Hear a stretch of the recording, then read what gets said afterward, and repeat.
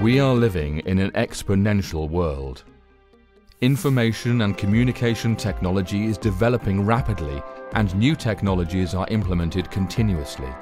Back in the 1960s, the average chip had only 30 transistors and the city of Abu Dhabi was just starting to develop Fast forward to today and chips have well over 5 billion transistors.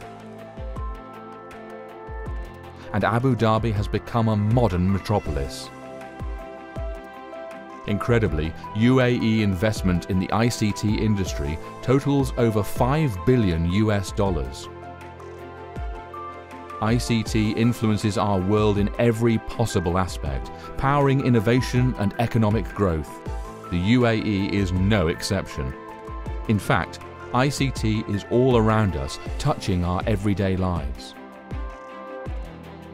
It's in our homes, in our hospitals, in our offices, in our culture, in our schools, and in our pockets.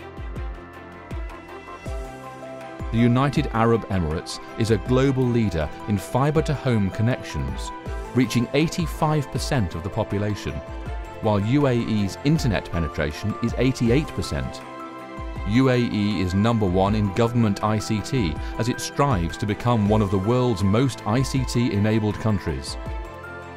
We are guiding today's ICT industry by building the framework for its future. Standards are a critical feature in fortifying the ICT industry,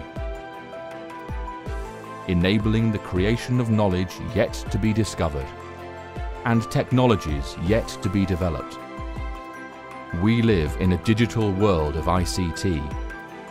Defining standards secures its continued exponential growth.